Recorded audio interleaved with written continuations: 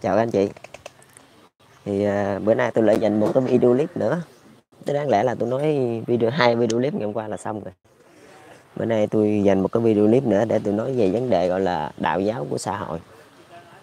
Bữa nay thời tiết thì 20 độ C như ngày hôm qua nhưng mà tôi quen khỏi băng áo khoác. Tôi thì dễ thích nghi lắm tại vì tôi sống ở trên núi mà. Mấy kỳ tôi leo núi đó tôi cũng đâu có bằng áo khoác đâu. tôi quấn áo mưa là tôi ngủ rồi tiếp tục mình nói về vấn đề gọi là đạo giáo xã hội. Là trong cái khoa học xã hội chủ nghĩa nó có luôn cái phần đạo giáo tức là nó dung hòa luôn. Chứ nó không có gò bó nó không có hạn hẹp như là những cái môn phái khác như là những cái đạo giáo khác. Như như đạo Phật thì phải uh, uh, ăn chay còn đạo Thiên Chúa là phải đi rửa tội đi vào thứ bảy chủ nhật cuối tuần. Nó còn cái đạo giáo xã hội này là nó nó vô hình chung là nó nó gọi là ví như các đạo giáo khác đi. Nó gọi là ví như các đạo giáo khác đi là nó có thể gọi là ba cu mang những người khác hết một trăm phần trăm. Thì cái đạo giáo xã hội này nó chỉ cu mang người khác chỉ có 70 thôi sáu bảy chục phần trăm thôi. Và chừa ba bốn chục phần trăm còn lại đã cho người khác người ta làm. Tức là cái cách làm của cái đạo giáo xã hội của mình đó là nó không có phải như là uh, của những cái đạo giáo hiện hữu mình chỉ làm ở một cái cách gọi là mình mình cũng có cung mang chứ không phải không, nhưng mà không phải là tuyệt đối. Còn bên kia thì họ cung mang một cái cách gọi là họ tuyệt đối luôn. Giống như họ họ mà mà giúp đỡ ai thì họ họ tuyệt đối luôn. Giống vậy nhưng mà không nên làm cái chuyện đó. Tức là mình mình ở đây mình mở cái trường phái mới. Tức là giờ mình đi những cái con đường nó dễ dàng hơn để cho thiên hạ người ta theo. Chứ mình đi những con đường mà nó khó khăn quá, nó khúc khỉ quá thì người ta đâu có theo được chứ như bây giờ mình kêu ăn chay quanh năm đi, thì người ta làm sao ăn chay quanh năm được? Thấy không? Người kêu người ta giống như học thuộc hết kinh thánh là làm sao người ta học thuộc được? Còn cái vấn đề mình thì nó đơn sơ thôi, chứ nó không có cái gì gọi là phức tạp đó và nó chỉ đơn sơ một cái chỗ là dung hòa thôi. Nghĩa là mình không cho phép người ta cu mang người khác một trăm phần trăm, chỉ làm 70 phần trăm thôi. Còn 30 phần trăm là phải nhường lại cho người khác không gì trên cuộc đời này theo tôi là ai cũng phải có trách nhiệm với bản thân mình hết ai cũng phải sống cho bản thân mình hết. Mà chính vì cái chỗ người ta sống cho bản thân của người ta đó, thì mình không được làm hết cái phần việc của người ta. Mình chỉ giúp người ta một phần nào đó thôi chứ mình không được làm hết cái phần việc của người ta. Cái này là phải rõ nha. Cái đạo giáo của mình nó khác hơn so với những cái đạo giáo thực thụ lắm tại vì của mình là nó thiên về xã hội. Xã hội là chánh chứ không có đạo giáo gì đây chứ mình nói thì nói theo kiểu đạo giáo thôi chứ thực chất nó là xã hội. Nhưng mà nó có một cái khía cạnh của đạo giáo trong đó. Thì đó tức là về đạo giáo khác á, là họ có thể ngồi đó họ tịnh ở đó, đó. Và họ giống như là họ phổ độ chúng sanh là họ chịu đựng cực khổ. Còn đối với cái đạo giáo của mình là không có ngồi tịnh cũng không có gò bó luôn, không ăn chay luôn. Và chỉ đơn sơ thôi. Ví như tôi gặp anh khó khăn, tôi chỉ giúp anh phần nửa thôi. Tôi chỉ giúp anh một lời giới thiệu thôi, giống vậy. Như vậy anh muốn gặp tổng thống mỹ donald trump đi, thì tôi chỉ giới thiệu anh lại đó thôi. Còn lại đó anh làm được cái gì hay không, anh thuyết phục ổng canh sao đó, thì cái đó là chuyện của anh. Phải không? Tức là anh phải có trách nhiệm với chuyện của anh, chứ tôi không thể nào tôi giới thiệu anh lại đó rồi tự tôi nhảy ra tôi nói luôn vậy tôi làm luôn, chứ anh anh tới đó để làm gì? Thì cuộc đời này lúc nào cũng vậy chứ, mà cái đạo giáo xã hội này nó rất là quan trọng nha. Tại vì nó nó sẽ dung hòa được những cái phần mà những đạo giáo kia đã không thể nào làm được. Tại vì người ta không thể theo được. Người ta không thể theo cái môn đạo giáo thì thực tại được. Có nhiều môn quá trời nó gò bó. Giống như bạn đầu nâu đi, bạn đầu xám khối đi.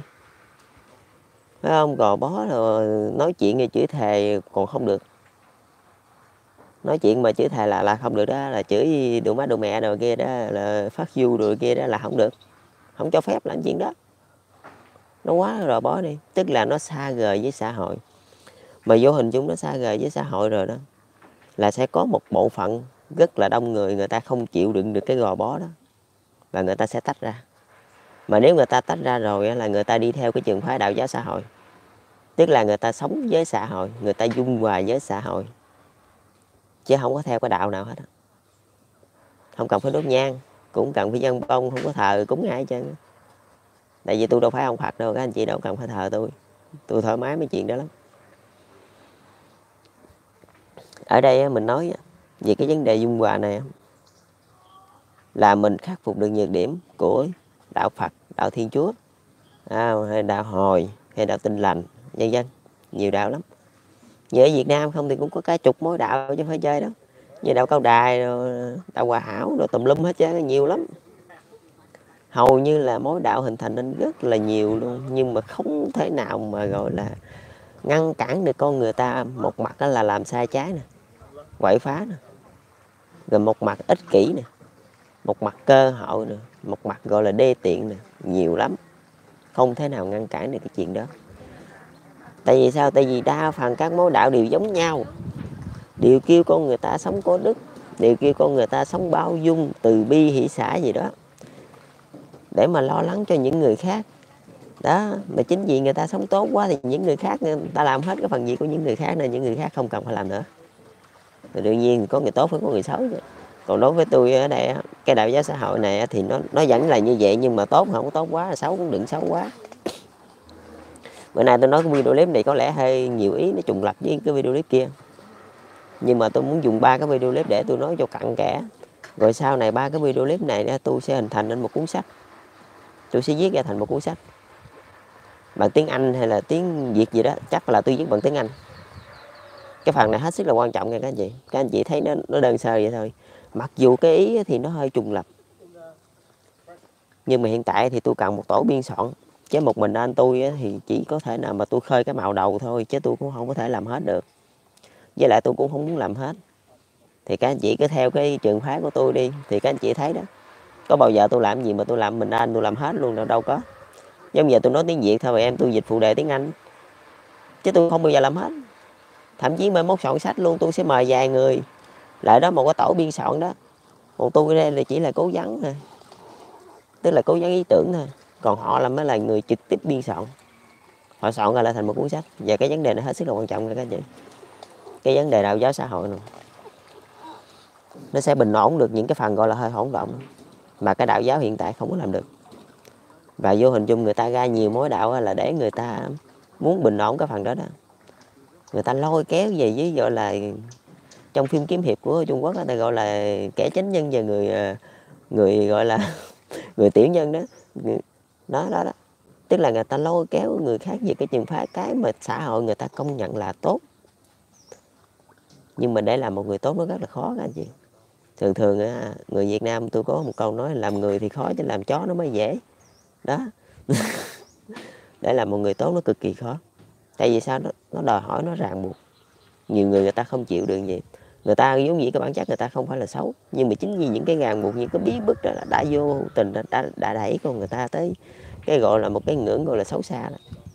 Chứ người ta vốn dĩ ban đầu mới sinh ra. Thì các anh chị nghĩ đi lúc ban đầu mà mới mới sinh ra trên đời làm gì mà mà có ai xấu ai tốt? Thì ai vừa mới chào đời cũng có một tiếng khóc vô hình chung là giống nhau. Tức là thượng đế đã ban xuống là hầu như mọi người giống nhau nhưng mà xấu hay tốt hay không á là do xã hội đã đẩy họ xấu và tốt. Tức là các anh chị có sự phân biệt xấu tốt. Nha cái cái này các anh chị phải gọi nha. Tức là các anh chị có cái sự phân biệt người xấu và người tốt kẻ chính nhân và người tiểu nhân. Mà chính vì cái phân biệt đó, đó đã vô hình chung đã đẩy thế giới ra làm hai đã bẻ thế giới ra làm hai. Còn cái đạo giáo xã hội tôi tôi không phân biệt cái đó. Thấy không? Tôi chỉ phân biệt cái người làm ít và người làm nhiều thôi tức là tôi làm sáu bảy chục cái video clip tiếng việt, em tôi nó dịch ra tiếng anh, vậy thôi. Thì thì làm sao gọi là tôi xấu hay là gọi là em tôi xấu được? Đó là mình mình không phân biệt cái kiểu mà người xấu hay là người tốt. Mà mình phân biệt cái kiểu là người này làm hai phần, người kia làm một phần. Đó. Mà chính vì khi cái gì kéo người ta quay trở lại rồi đó, nghĩa là không có người xấu, người tốt nữa. Thì lúc đó các anh chị đâu có bẻ thế giới ra làm đâu nữa. Thì người xấu tự nhiên sẽ giảm xuống không cũng ví như tại sao dịch vụ mại dâm nó có ở khắp nơi thậm chí ở nước Mỹ cũng có đầy cái dịch vụ mại dâm đó. Nhưng mà cưỡng hiếp vẫn cứ xảy ra.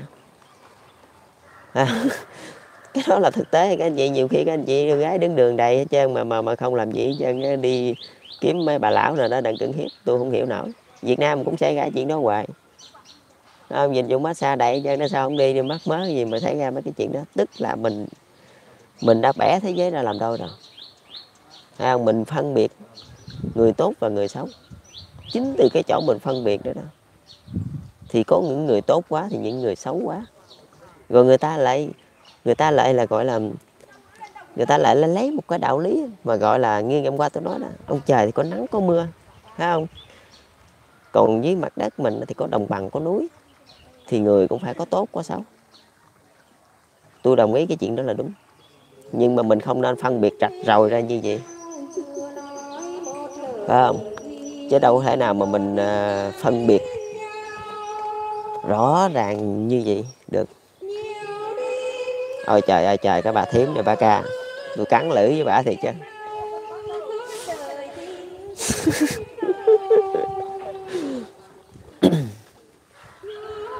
Thấy tôi quay video clip cái ai cũng đi qua hết trơn, ai cũng muốn chen chân, rồi chen miệng chen cái tiếng như đó. Trên cái video clip này là cái tầm thường nhất trong cuộc đời nó có phải là cái gì đó đâu, nó có tạo nên lịch sử được đâu, mà những nhà tổng thống như tổng thống mỹ rồi đó, thủ tướng đức rồi tổng thủ tướng nhật bản rồi đó, chủ tịch nước tập cận bình rồi mấy tay đó mà tạo nên lịch sử. Chứ cái video clip này làm sao mà tạo nên lịch sử được các anh chị?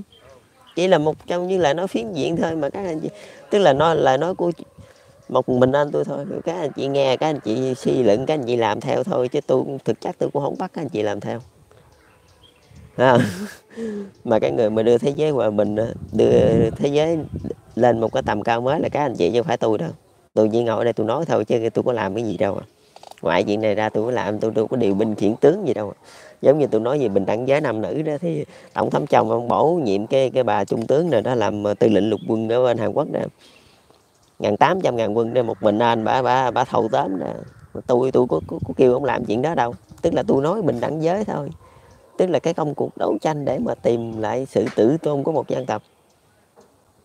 À, không? Giống Nhật Bản thì cái cái cầu Đức Cộng dây cáp là tự dạng để bảo vệ uy tín của dân tộc mình.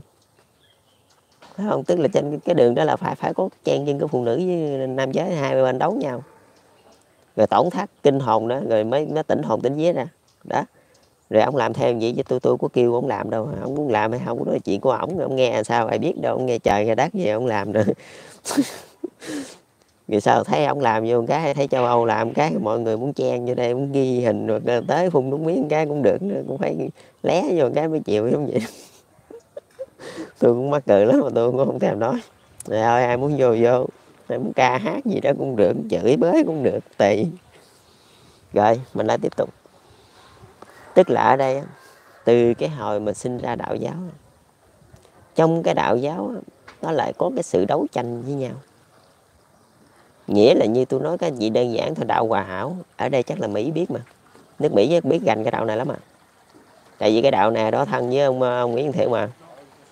Đạo hòa hảo nè. Với đạo phật hai bên tu đều thờ phật nha các anh chị. Giống hệt nhau luôn. Nhưng mà đạo hòa hảo nói một câu mà tôi nghe cũng buồn cười.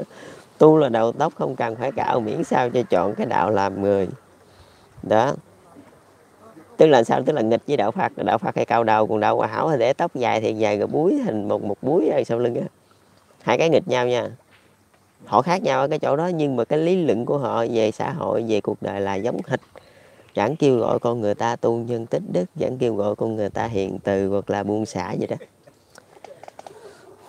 Nhưng mà nói thiệt với các anh chị luôn.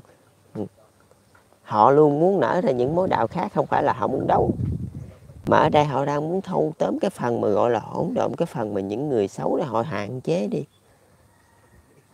Không? Nhưng mà mình mình không thể nào mà hạn chế người ta xấu được. Mình không bao giờ làm gì. Mình chỉ đưa cho người ta cái trách nhiệm với cuộc đời thôi, của cuộc đời người ta thôi. Rồi người ta quyết định làm gì thì người ta sẽ có trách nhiệm cho dù người ta là một tay tướng cấp. Như ở Việt Nam có tướng cấp Bạch Hải Đường nữa mà chính phủ Pháp chắc biết cái ông này, họ thay Pháp đó tướng cấp bạch hai đường là nổi tiếng nha các anh chị. Rồi sao ông ông đi cướp của giết người á. Về đã ông nuôi vợ con ông thậm chí ông, ông cho tiền lại cho dân nghèo. Thì đôi khi tôi nói thiệt với các anh chị thà là làm một tướng cấp. Không mà sống còn có ý nghĩa hơn là những cái người miền Nam Mô mà bụng một bò dao găm. Thấy không mình mình ở đây là mình sống gọi là chính trực mình sống rõ rệt. Được thì nói được không được nói không được chứ không có cái vụ mà áp áp cũng như là cái đạo giáo. Tôi không tôi không tôi, tôi không chấp nhận cái chuyện đó. Tức là những người nào theo đạo tôi không nói họ sai. Nhưng mà sẽ có một cái nhóm nó mượn đạo tạo đời. Tức là nó khoác áo cà sa mà miệng mà, mà mộng ma mộng quỷ đó. Đó đó đó, đó. trong hồn nó toàn ma quỷ không mà mà khoác áo cà sa như vậy đó. Thế đó là tôi gọi là mượn đạo tạo đời. Đó. sẽ có nhiều trường hợp như vậy và vô hình chung chính những cái người đó đó là mới đẩy thế giới ra làm hai mới bẻ thế giới ra làm hai. Nhiều người ta cũng muốn đi ta cũng muốn hiền từ đó mà ta nói đáng mẹ này mấy thằng mất dạy này đây mà nó nó nó bằng áo cà sa mà nó đập như quỷ đây mà mà mà mà, mà kêu mình hiền từ làm sao mà hiền từ được? Phải không? Sẽ không bao giờ có cái chuyện đó. Còn ở đây mình là mình là một người chính trực. Cái đạo cái đạo giáo xã hội là một người chính trực rõ ràng đàng hoàng tức là tôi làm hai phần anh làm một phần. Cũng giống ngày hôm qua đây nuôi ba mẹ đây tức là tôi nuôi thì, thì, thì em tôi phải trả tiền. Đó rõ là đàng hoàng phải có trách nhiệm. Chứ không có cái vụ mà mặc áo cà sa mà mộng ma mộng quỷ gì đó là không được. Mình mình phải nói rõ ràng tức là ở những cái trường phái đạo giáo hội tránh né thậm chí như đạo thiên chúa đi đi rửa tội là cái như sạch tội hả? Thấy không? Họ tránh né đi cái chuyện đó. Còn mình ở đây cái đạo cái đạo xã hội của mình là mình nói thẳng. Mình rõ ràng đàng hoàng tôi không bắt anh là quỳ lại giáng sinh gì chứ tôi cũng chả bắt anh ờ, thứ bảy chủ nhật phải đi ờ, lễ đi gì chứ tôi không bắt anh thờ cúng ai tại vì đây tôi đâu phải ông phật. Tôi là một người bình thường. Không? Tức là tôi với các anh ngang bằng nhau. Chứ tôi không bao giờ trên các, các anh đâu. Các anh đừng có nghĩ đến cái chuyện mà tôi thì trở thành ông phật rồi này kia. Tôi trên các anh không có. Tôi với các anh là bằng nhau. Không cần phải quỳ lại. Không cần phải cúng kiến gì chứ tôi không cần thiết mấy chuyện đó. Cho dù bây giờ mà mãi mãi về sao tôi không cần chuyện đó nhưng mà tại vì sao tôi nói tiếng việt ha em tôi phải dịch ra tiếng anh. Và sau này cứ viết sách tôi chỉ làm cố vấn thôi. Và những người khác sẽ viết sách. À, tại vì tôi làm việc thôi chứ. Rồi tới về lựa các anh chứ không lẽ tôi làm hết. Tôi đâu có theo đạo phật. Tôi cũng không theo đạo thiên chúa. Mình rõ ràng ra. Tôi càng không theo đạo hồi. Đó. Tức là mình phân chia rõ ràng ra cái phần đó. Mỗi người mà khi người ta có trách nhiệm rồi thì những người có trách nhiệm sẽ lôi kéo với nhau nghĩa là những người đi, sống theo đạo. Là họ vẫn cứ sống còn những người mà có trách nhiệm là họ sẽ theo cái phần đó. Tức là hồi nào tới bây giờ họ theo đạo rồi thì mình không cấm họ. Nhưng mà mình sẽ đưa được cái trường phái mới. Là những người có trách nhiệm. Họ mới gom lại thành một cục. Đó. còn các anh chị muốn thờ cúng ai đó là chuyện tỷ các anh chị. Không cần phải thờ tôi không cần phải bị lại. Tôi không phán phật cái chuyện này rõ ràng nha. Tôi với các anh chị là ngang nhau không có gì nha bình thường nha. Tôi làm này đâu phải là tôi để tôi lên là làm phật đâu. Tôi không cần thiết cái chuyện đó. Làm vua nước Việt Nam tôi còn không cần nữa đây. Làm phật có nghĩa lý gì tôi cũng không cần luôn tôi đã chấp nhận đi Tây Ban Nha tôi đâu có, có sợ cái gì nữa đâu. Tôi cũng cần thiết mấy chuyện đó. Danh vọng quyền lực là vô nghĩa. Cái hư danh đó các anh chị mê thôi chứ tôi tôi đâu có mê. Đời tôi sống rạch rào lắm. Thích thì nói thích không là không à, còn cái chuyện gì mà tôi nín tôi biết đó chứ không phải tôi không biết. Nhưng mà tôi nín thanh nè à. tôi biết các anh chị cũng có nhiều cái khó xử nên tôi nín. Giống như chuyện đẩy tôi đi nước ngoài thì tôi biết từ lâu rồi. Nhưng mà tại tôi không muốn chơi cạn tàu cáo máng nên thôi tôi đi. Và tôi biết từ lâu rồi. Chứ không phải là tôi không biết đâu. Tôi nể các anh chị là một người lớn. Thì hàng cha chú của tôi không lẽ tôi đi đánh lộn với các anh chị? Đó bây giờ tôi đi. Trường phái đạo phật nó lại vậy đó. Nó không có rạch rồi mà nhiều khi tôi nói thì với anh chị luôn một con người đi để mà người ta lao động đi. Người ta làm được được cái cuốn này đi với như tôi đi. Tôi viết cái cuốn uh, theory of the new socialism này đi. Thì các anh chị đi tôi tôi mắc bao nhiêu tâm huyết của cuộc đời. 29 năm đó các anh chị. 10 tuổi là tôi đi xin cơm của người ta tôi ăn.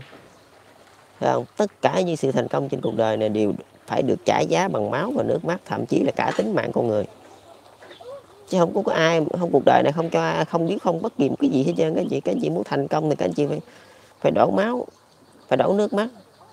Thậm chí là mất mạng những người trong gia đình các anh chị đó thì mới được thành công. Nhưng mà một khi người ta thành công rồi thì người những người khác họ là đem cái chuyện phái đạo Phật ra. Và đạo Thiên Chúa đó họ bao che dung túng rồi này kia đó họ mới nói với mình một câu đó, là không nên rạch rồi tại vì còn tình nghĩa còn ôn lê thê nhưng mà trường phái của tôi là rạch rồi.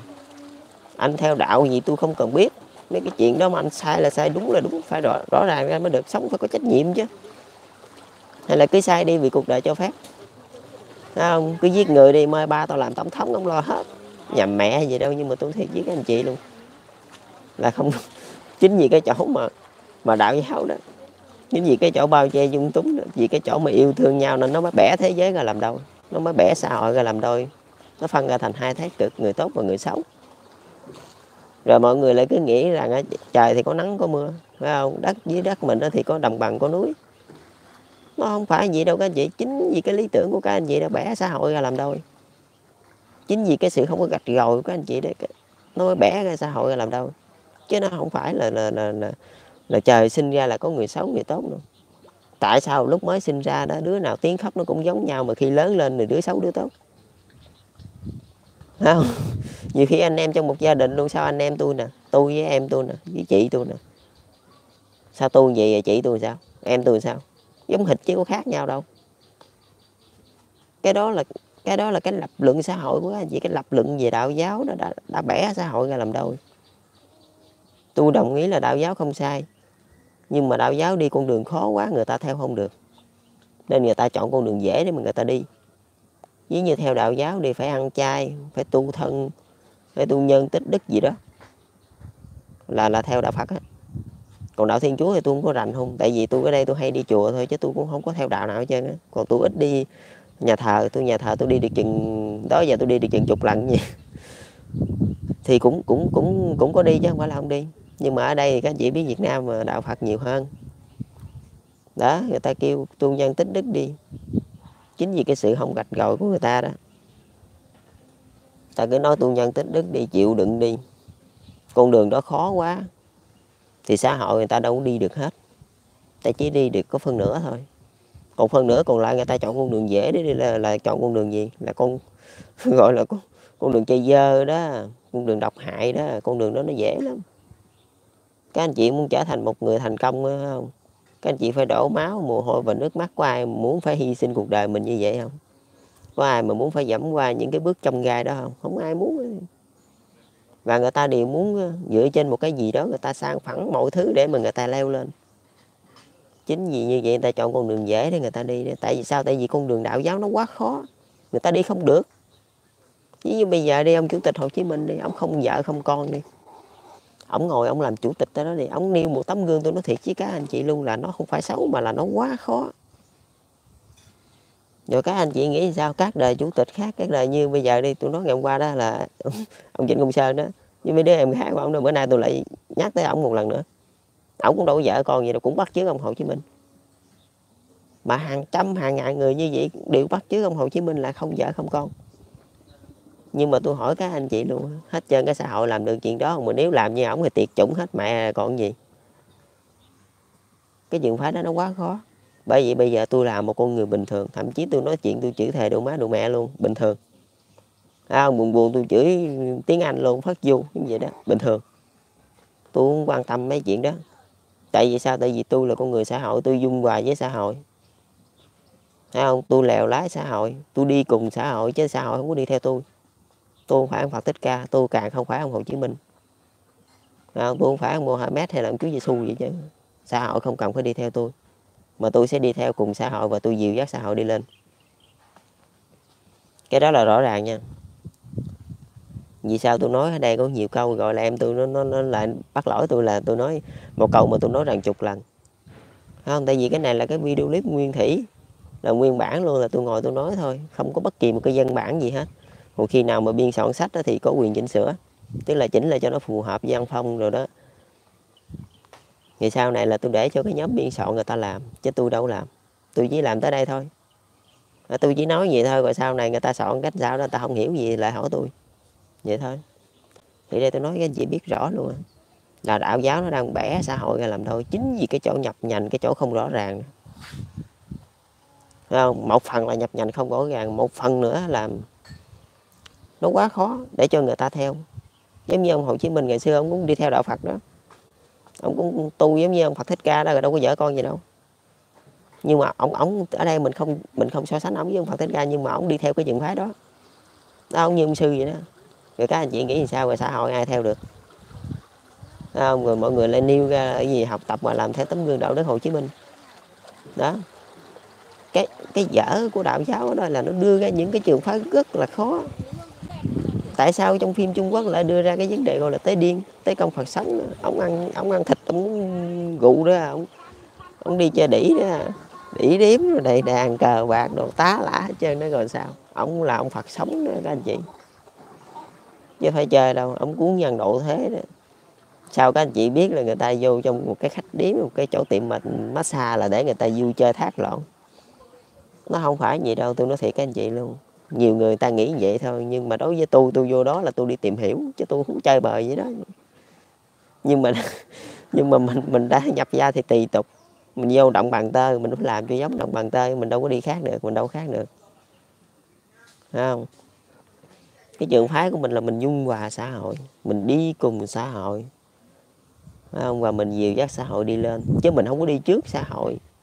Rồi mình đưa ra một cái tấm bia nào đó, hoặc là một cái tên tuổi nào đó ví dụ tôi nói ở Việt Nam có ông Hồ Chí Minh đi, rồi mấy ai làm được giống ổng.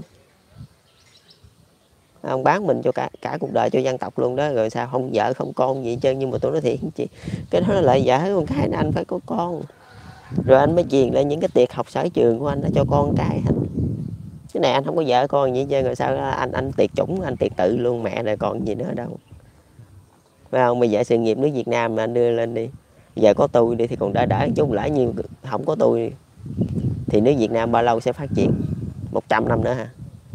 Hay một ngàn năm? Hay là bứt luôn? Hay là sập luôn? Thấy không? Không có tôi thì cái trận này tôi nói thiệt với các anh chị, nước Việt Nam cũng ngàn cân chơi sợ tóc thôi. Tranh đấu nội bộ, ghét gã rượu hết trơn ngày còn gì nữa. Thậm chí tới thời bác ba Dũng mà người ta cũng muốn lật đổ ông luôn rồi. thì các anh chị biết đi, nội bộ tranh đấu xô xát nhau trong này. Đó đó đó, không có con là như vậy đó. Đi tu là như vậy đó mình phải biết rõ được cái vai trò của mình nằm ở cái chỗ nào. Không? chứ mình không có thể nào mà mình mình mình mình mình đưa ra một cái tấm bia một cái bức hình tượng nó quá khó để cho thiên hạ người ta theo. Chỉ nhẹ nhẹ thôi, vừa phải thôi là được. Mình đi cùng xã hội giống như tôi đây, tại sao tôi không ăn chay? Đồng ý tôi ăn chay được đó, tôi ăn chay nhiều hơn là ăn mặn. Nhưng mà tôi vẫn phải ăn mặn vì sao tôi không lại giống ông hồ mà tôi không cần phải có vợ. Nhưng mà tôi phải có vợ tại vì sao? Tại vì xã hội còn người ta đi theo mình nữa. Mình ở đây là một người xã hội mình hết sức là chân thực hết sức là gần gũi. Không? Đạo đức ở đây mình nói chuyện chữ thề chữ thốt là hoàng giận thì nói giận ghét nói ghét thù nói thù thẳng thắn. Không? tại vì sao? Tại vì tôi là một con, con người bình thường tôi không phải ông phật. Cái này rõ nha. Không? Tức là các anh chị có thể theo được là một người bình thường thôi nghĩa là các anh chị nghĩ đi. Nhưng bây giờ một người bình thường thì vẫn có thể theo trường phái của tôi được. Như là giờ tôi ờ, với tiếng Việt em tôi dịch ra tiếng Anh cái chuyện này là chuyện hết sức là bình thường. Các anh chị có thể theo được. Chỉ như tôi nuôi, nuôi ba mẹ thì ờ, em tôi nó gửi tiền. Cái chuyện này là chuyện bình thường. Các anh chị có thể theo được. Chứ tôi đâu có thể nào sống như ông Phật Thích Ca hay ông Hồ Chí Minh được. Tôi đâu có sống gì đó được. Tôi sống được chứ không phải không được. Nhưng mà tôi sống cái kiểu đó là xã hội người ta sẽ không có theo được mà vô hình chung như vậy là tôi sẽ bẻ cái xã hội ra làm đôi. Lại giống mấy ổng nữa đó là bẻ xã hội ra làm đôi. Rồi mấy ổng lại lý luận ra một cái chuyện rất là hài hước là xã hội phải có người tốt người xấu. Chính vì các anh đó, cái lý luận của các anh đó đã đẩy cho người ta trở thành xấu đê tiện. Ở đây là mình nói về lập luận xã hội chứ mình không có nói gì dạng như là mình mình mình bôi, bôi xấu ai nha. Mình cũng không nói thù oán gì chứ mình lập luận xã hội để mà mình mở ra một cái trường phái mới rồi 28 phút rồi để tôi quay thêm một cái video clip nữa tại cái chủ đề này nó rất là quan trọng, cái chủ đề này là sẽ bình ổn xã hội. Bình ổn xã hội cho các anh chị rồi để tôi quay cái video clip nữa đi, rồi từ tôi nói tiếp. Chào các anh chị, chúc các anh chị thành công.